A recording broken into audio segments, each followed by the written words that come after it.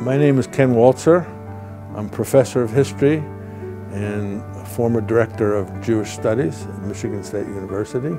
Uh, recently retired after 43 years of teaching and scholarship in James Madison College. Uh, I came here in 1971, was hired on a one year. I didn't expect to be here for 43 years, but we came uh, for a one year appointment and we liked it and they liked me, so uh, we stayed. I am a historian. Uh, I take my disciplinary uh, studies uh, seriously, but I've always taught with the perspective that I wasn't training historians. I was helping people who were going to go on in public affairs in some way. I wanted to them to have a historical perspective. There's a past behind the present, um, and that to understand it, um, they have to go there, and they have to read about it, and they have to interact with it. Um, and th that's been in all my Madison courses, and it's been a special role, and I've, I've loved playing that role. It's easier and even more necessary to be an excellent teacher when you're surrounded by excellent teachers. My own style uh, was shaped by the fact that I was a jazz musician before, before I became an academic and a pianist in a jazz band.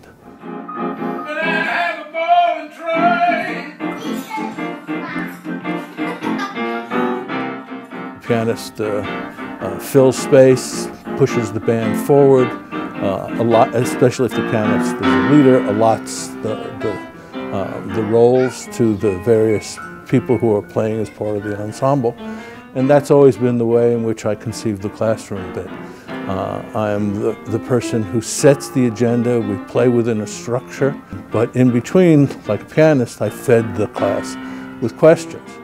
Um, and we explored these questions wherever they, that exploration took us. To be invited to go with 15 scholars from all over the world to open up the Red Cross International Tracing Service was a remarkable honor. They asked me, I think, because they knew of my work on Buchenwald and they knew that Buchenwald's records were pretty much preserved at the ITS. But they wanted to get scholars working in the area able to testify openly that this was a treasure trove. This was uh, going to uh, increase our knowledge in new ways about uh, parts of the Holocaust. And they were preparing us to answer questions from the international press on what is the value of these records. As an aside, the AP representative at the International Press uh, Conference said to me, hey, did you find anything really new and I, just as an answer to the question on the spur of the moment, I said, oh yeah, I found the, the name of the guy who protected Israel Meir Lau, who was the Ashkenazi chief rabbi of Israel um, in the camps. He was an eight-year-old, little Lulek. There was a Russian young boy from Rostov, Rostov on the Don. I knew only one name, Fyodor. He sacrificed his life to protect me and to save me. I don't know why. 63 years after the war, a professor Kent Walshers from Michigan University, so he made a press conference and said, I found the man, a man from Rostov-on-the-Don, Fyodor Mikhailchenko, who saved the life of Chief Rabbi. I was looking all my life what happened to, to Fyodor, I want to thank him. They went looking for him and it was too late. He was deceased. He had died uh, at the turn of the century. Um, but before he had died, he had gone back to Buchenwald and made a tape where he talked about protecting a little eight-year-old boy by the name of Lulek. So they, they nailed it, they found him, and they brought his two daughters to, to Israel. They made him a righteous among the nations at uh, Yad Vashem. And the daughters went to dinner with Israel Meir Lau, who's an Orthodox uh, rabbi, which means he has many children, and his children have many children, none of whom would exist, uh, save for the role of this 18-year-old boy in the camp.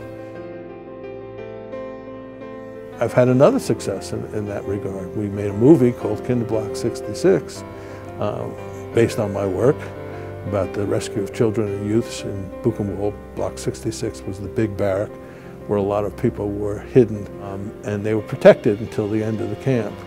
We made a movie about it, and we focused particularly on the head uh, of the block, uh, a Czech communist by the name of Antonín Kalina. As part of the movie, and also as part of the showing of the movie at film festivals since then, uh, we made an effort to get Antonín Kalina uh, nominated and uh, approved as a Righteous Among the Nations. And when the film showed at the Jerusalem Film Festival, the head of uh, the Righteous Department Yad Vashem appeared and said he was just uh, approved as Righteous Among the Nations. Another memorable uh, set of events is building Jewish studies in the last uh, 15, 20 years, uh, working with my colleague Steve Weiland from education. We got a lot of support from the university to help build the Jewish studies program. It had to be envisioned, and it had to be recruited for, and it had to be built. And as a consequence, where once there was no Hebrew instruction in the university, now there is. Where once there was no study abroad in Israel, and now there is, supported by pretty uh, hefty student scholarships. Where once there was no calendar devoted to uh, Jewish themes and issues, uh, now there is, is an annual Israeli Film Festival. There's an annual Holocaust lecture. There's an annual Jewish art and music lecture. Um, there's an annual Yiddishkeit lecture on Yiddish culture. Those things, absent before, are now part of the everyday life of the uh, annual life of the university.